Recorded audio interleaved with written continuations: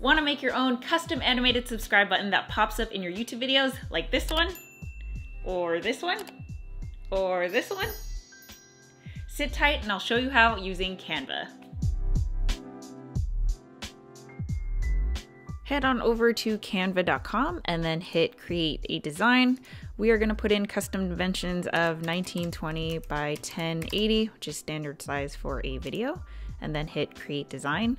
Now, the first thing I recommend you doing is grabbing a picture of you in your set so that you can have an idea of where you want to position the subscribe button. So I'm just going to grab um, one of my old thumbnails just to give myself an idea this is me sitting in my set and I can see that I have kind of a gap here, which would be a perfect place to add a subscribe button. Canva has a ton of options. You can really like play around. If you want something ready made, you can click on elements and then we're just gonna type in subscribe.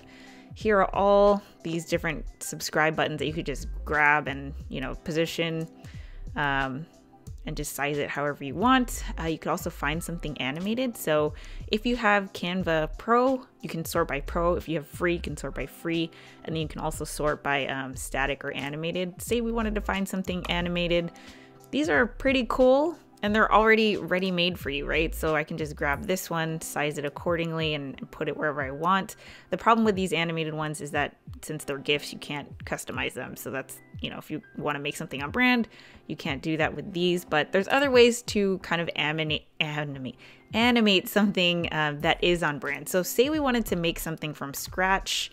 Um, we can head back into elements and then we'll put in button to kind of actually get the shape of the button. Let me uh, take off the animated and then say something, you know, ordinary just like this. And then um, you can change it to the color that you want it to be.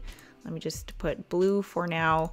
And then we'll head on over to text and add in subscribe and then uh, subscribe. And we'll just position that accordingly put that on top so it's going to look something like that. You could also add other little elements like a mouse pointer. So let's take off these filters and put like a mouse mouse click. Um, these are a little insane. Click. All right, cool. So something like this, and then we can position it into the corner, something like that. Um, but yeah, you guys get the idea. Oi like that. And then of course, we cannot forget the bell, right? So here's a bell. You can just size that, change the color, make it on brand. Um, I just want it to stand out. So something like that, right? And of course, once you have an idea of where you want to place your button, you can just delete you. And then um, the next thing that we're gonna wanna do is add our green screen, right? So grab a shape, fill the canvas to be uh, completely covered. And then we're going to change this to chroma key green, which is the um, green screen color, which is 00B140. Bam. And then you just want to make sure to send this all the way to the very back so all of your elements are forward. Now, if you want this to animate, like obviously this is static, right? If you want this to animate, just click on the back and then the animate button will pop up here. And then you have some animations here that you can choose from. I really like Tumble because it it like brings in everything individually, which I think is cool. But that's totally up to you. The other thing I wanted to show you really quick is another way that you can do a subscribe button, which I think is pretty cool. I'm not going to do it, but in case you want to, you can try this out. You could also put your channel icon, right? So um, we're going to grab a circle and we're also going to grab a circle frame and then you can put your channel icon in the frame. Um, I don't have my, but I'm gonna just grab this photo. And then we'll make this smaller than the circle. So the circle is peeking out behind it and makes it pop out a little more. And then we will group these together and resize it like this. And then, you know, I kind of, I've seen something like this where the channel icon is like right next to the subscribe button. So obviously, however you want to do it, the possibilities are totally endless here. For this example, I'm just going to export this one and I have it on Tumble, which is the animation that I want. So I'm going to hit download and then I'm only going to export the one that I actually want, which is this first page. and it should do this automatically since there's animation on it, but make sure that you are exporting as an MP4 video and then hit download. All right, once you've got your file, head on over to your video editor. And um, I think I have a place where,